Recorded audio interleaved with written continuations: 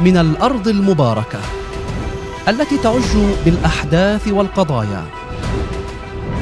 من شعبها المتوشح بالعزيمة والإصرار.